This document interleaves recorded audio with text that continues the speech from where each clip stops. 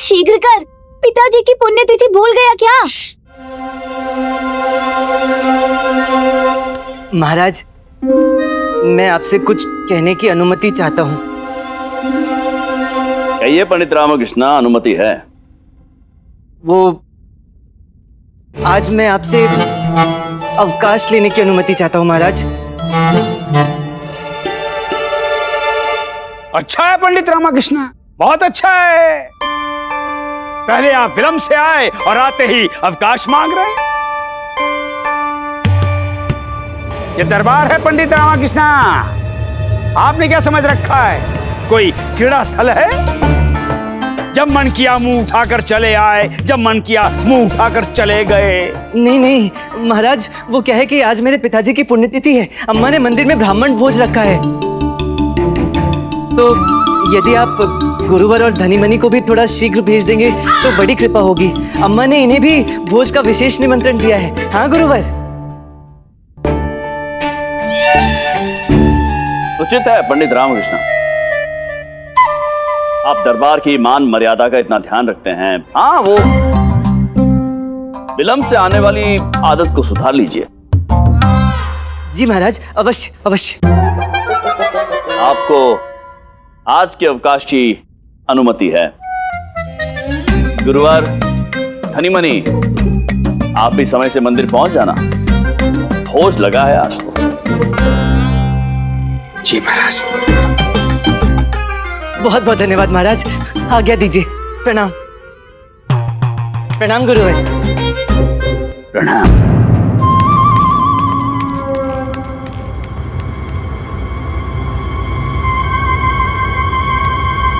पंडित रामकृष्ण, तुमने दरबार में हमारी प्रतिष्ठा भंग की है। हम बोझ में तुम्हारी प्रतिष्ठा को भंग करेंगे। तुमने ही आमंत्रण दिया है। हमें भी विपदा को भी।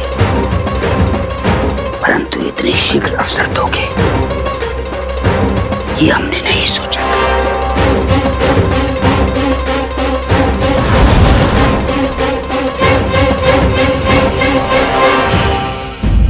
बुद्धि में ही। शक्ति है। छात्रों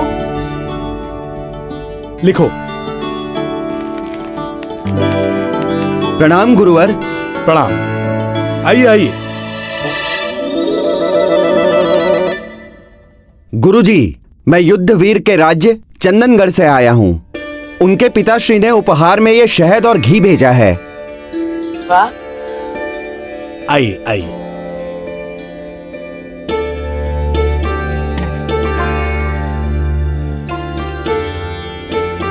उपहार के लिए मेरा धन्यवाद कहिएगा। जी।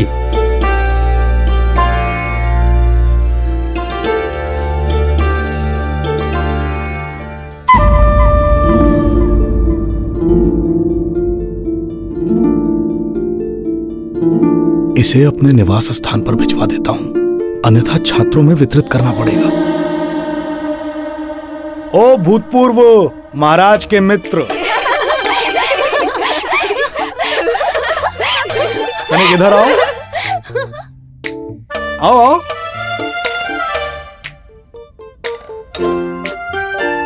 जी गुरु जी इसे सुरक्षित मेरे निवास पर जाकर रख कर आओ। ध्यान रहे गिरना नहीं चाहिए। जो आ गया गुरु जी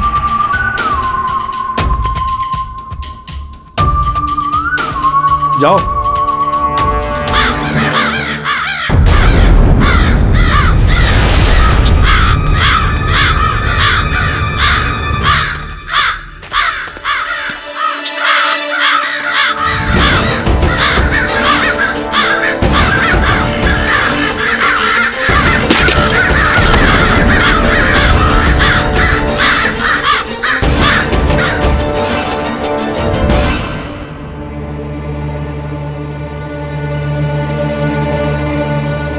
इतनी जल्दी तुम वापस कैसे लौट आए? हमारा उपहार कहाँ रख दिया? क्षमा करिए गुरु जी मेरे हाथ से मक्के गिर गए। गिर गए? कैसे गिर गए? कहीं तुमने जानबूझकर तो नहीं गिरा दिए? इसका दंड तुम्हें अवश्य मिलेगा। नहीं गुरु जी मैं मत के लेकर चल रहा था तभी कौवे ने आक्रमण कर दिया और मेरे हाथ से मत के गिर गए।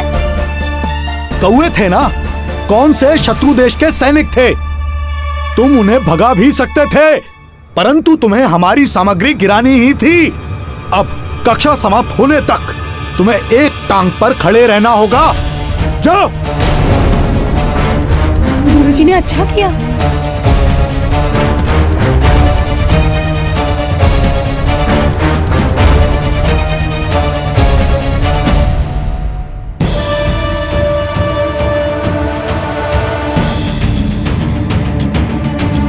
छात्रों लिखो।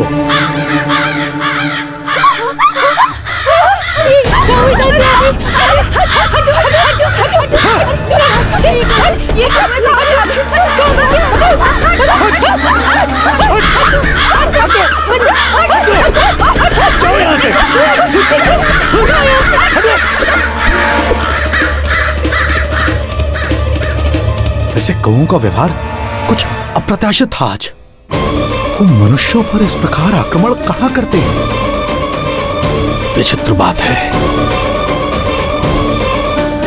बैठिए।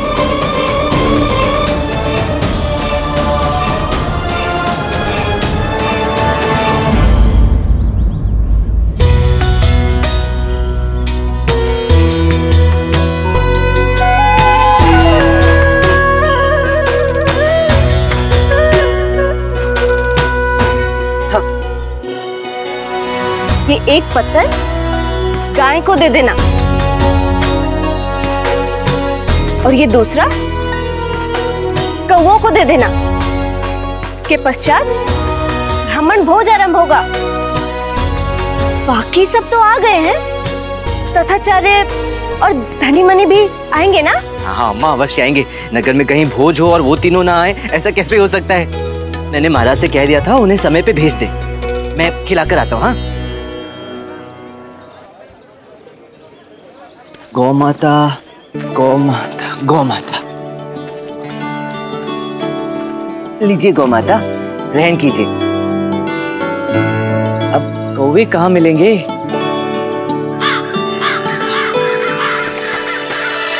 आइए आइए। भोजन ग्रहण कीजिए मेरे पूर्वजों। आइए। ग्रहण कीजिए। क्या है ये? बचाओ। अरे, बचाओ। अरे कोई मेरे बच्चे को बचाओ। कोई मेरे बच्चे को हटो। हटो। हटो। बचाओ।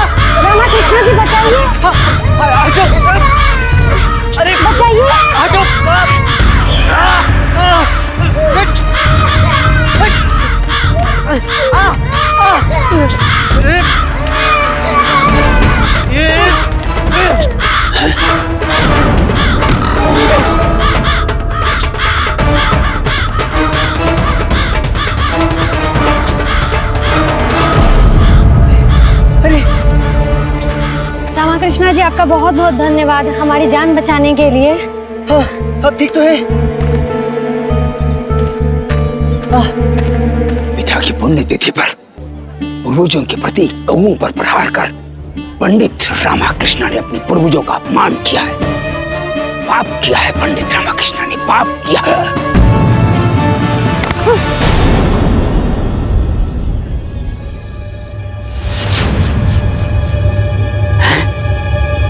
नहीं। महापाप क्या है? ये आया अफसर हमारे हाथ। धनीमनी तुम यही रुको और देखो हम क्या करते हैं। मार डाला! मार डाला! पंडित रामकृष्ण ने मार डाला! अरे कौआ मार डाला! बाप! पाप महापाप कर दिया पंडित रामकृष्ण ने। महापाप कर दिया पंडित रामकृष्ण ने। हे भगवान ये क्या कर दिया आपने? शिव शिव शिव शिव शिव शिव शिव शिव शिव शिव। शिव बड़े आए थे अपने दिव्यंगत पिता की पुण्यतिथि का ब्रह्म भोज करने। पूर्वजों के प्रति कौवे की हत्या कर दी आपने। शिव शिव, कौवे को मार दिया। पंडित रामाकृष्णा ने कौवे को मार दिया। देखा सबने देख लिया ना? क्या कर दिया पंडित रामाकृष्णा ने? पुण्यतिथि थी। आपके पिता कौवे के रूप में आए थे आपको आशीर्वाद देने के लिए। और आपने उसी कौवे की हत्या कर दी। महापाप कर दिया पंडित रामाकृष्णा। महापाप कर दिया। याद नहीं। अब इसका क्या फल मिलेगा आपको? गुरुवर जो कुछ भी हुआ उसमें मेरा कोई दोष नहीं था। आपने देखा ना उन कौवों ने उस महिला और उसके नन्हे से बालक पर आक्रमण कर दिया था। मुझ पर भी आक्रमण किया। ये देखिए मैं तो केवल उन्हें भगाने का प्रयास मात्र कर रहा था। ये प्रयास कर रहे थे? कौवे की हत्या कर दी पंडित रामा रामाकृष्ण आपने। क्या कर दी? हत्या! हत्या कर दिया आपने। और आप ब्राह्मण, क्या खड़े हैं वहाँ पर आप लोग? हे भगवान, कौवे की हत्या, कौवे की हत्या। आप अभी भी यहाँ खड़े हैं। इतना बड़ा पाप होने के पश्चात भी आप यहाँ बैठकर भोजन ग्रहण करेंगे? पंडित रामाकृष्ण के पाप में भागीदार बनेंगे आप। जिसने पूर्वज रूपी कौए को मार दिया हम उसका भोजन ग्रहण नहीं करेंगे। चलिए सब। धनी हम ब्राह्मण लोग हैं और हम ये भोजन बिल्कुल नहीं करेंगे। हाँ इससे ग्रहण करने से हमारा तो धर्म ही भ्रष्ट हो जाएगा। नहीं नहीं रुक जाइए रुक जाइए रुक जाइए रुक जाइए मत जाइए। देखिए जो कुछ भी हुआ उसमें मेरा कोई दोष नहीं था। बिना भोज ग्रहण के मत जाइए। किस मुख से रोकेंगे आप सबको पंडित रामाकृष्णा? किस मुख से रोकेंगे आप सबको? याद नहीं है आपको कितना बड़ा महापाप किया है आपने। आपको इस पुण्यतिथि के भोज के विषय में नहीं, अपितु तो इस महापाप के प्रायश्चित के विषय में सोचना चाहिए।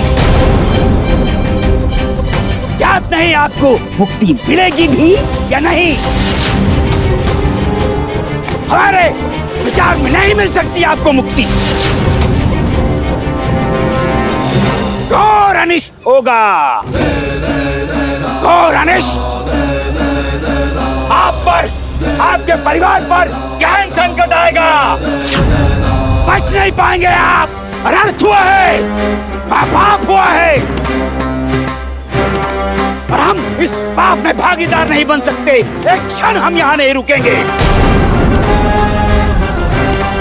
चलो चलो सब। चलो बोलिए सब चले यहाँ से। चलो चलो। चलो। तो अरे रुकिए। कृपया मत जाइए। ज्ञात नहीं कैसे हो गया। क्या नहीं अब क्या होगा? देखिए हमारे पुत्र को कुछ नहीं होना चाहिए। नहीं नहीं अम्मा तुम भी मुझे ही दोषी मानती हो क्या? अरे तेरे पिता की मृत आत्मा को तुम जैसे पुत्र को देखकर ग्लानी हो रही होगी। अरे अनर्थ कर दिया आपने। जिस मृत आत्माओं की शांति के लिए हमने ये सब किया था आपने उन्हीं को कष्ट पहुँचा दिया। हाँ।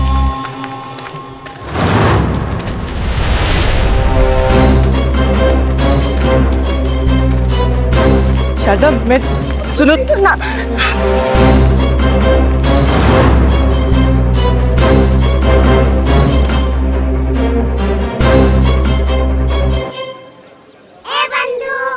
ये तो बहुत बड़ा अनर्थ हो गया रामा।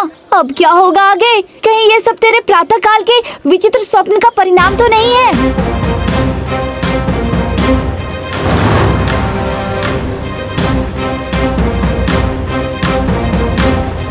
अपमान क्या होता है? ये आज ज्ञात हुआ होगा तुम्हें, पंडित रामाकृष्णा। ये तो आरंभ है। अभी तो बहुत कुछ होना शेष है।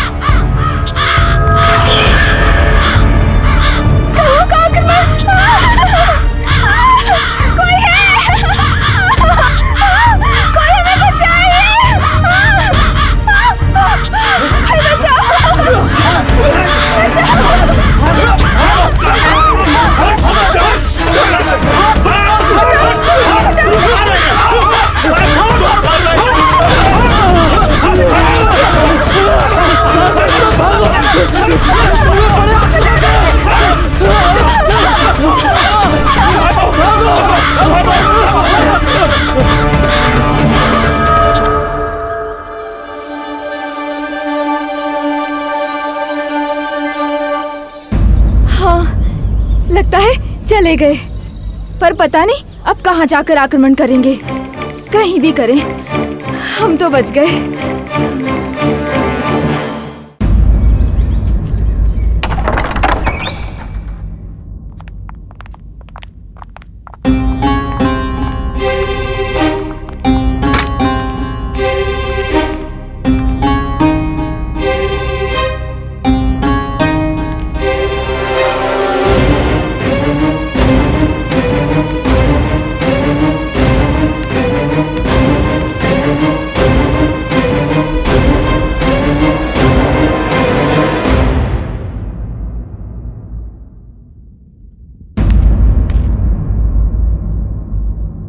मुझे विदित है कि तुम दोनों भी मुझे ही दोषी मानते हो। किंतु अम्मा, मैंने जो कुछ भी किया, उस महिला और उस नन्हे से बालक की रक्षा करने के लिए ऐसा किया। तुमने भी देखा ना कौवे किस तरह आक्रामक होकर उन दोनों पर आक्रमण कर रहे थे। यदि मैं पत्थर मारकर उन कौवों को नहीं भगाता तो वो उस नन्हे से बालक को निश्चित रूप से और भी घायल कर देते। और उसके प्राणों पर भी संकट आ सकता था, अम्मा।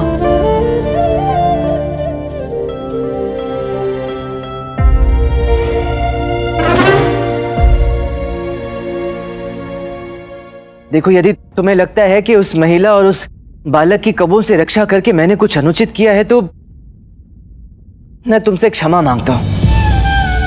इसके लिए तुम मुझे जो भी दंड दोगी, मुझे स्वीकार होगा। मुझे मात्र इतना ज्ञात है कि आज तेरे पिताजी की पुण्यतिथि थी। और मैंने उनकी आत्मा की शांति के लिए ब्राह्मण भोज रखा था। और तेरे कारणवश आज प्रथम बार ब्राह्मण भोज संपन्न नहीं हो पाया। समस्त ब्राह्मण बिना भोजन किए उठकर चले गए। और इस अपराध के लिए तुझे कोई भी दंड दो वो तुच्छ है। माँ मैं केवल इतना जानता हूँ कि मैंने उस नन्हे से बालक के प्राणों की रक्षा की। उन आक्रमणकारी कवों को भगाने का प्रयास किया। और ऐसा करना मेरा धर्म था, माँ। क्या लवा तूने भी कौओं का आक्रमण देखा? उन्होंने हमारे गुरुकुल में भी आक्रमण किया था।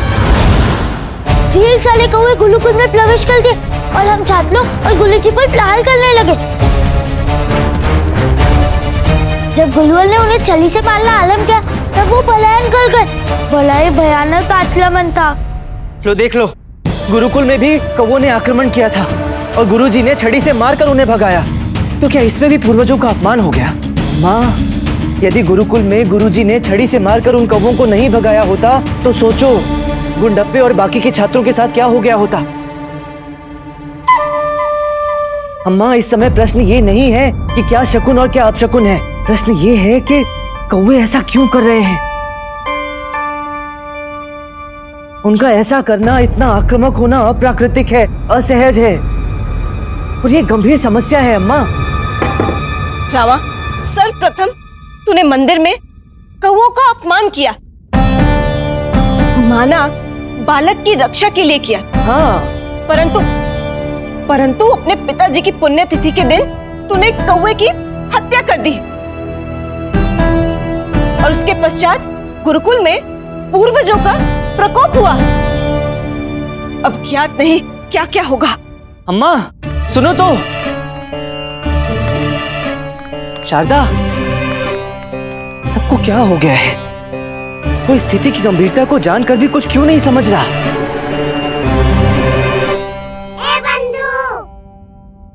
रामा ये सोच अनायस को भी ज्ञात नहीं क्या हो गया है? और वो क्यों कर रहे हैं ऐसा व्यवहार? कहीं ये मात्र संजोग भर तो नहीं था?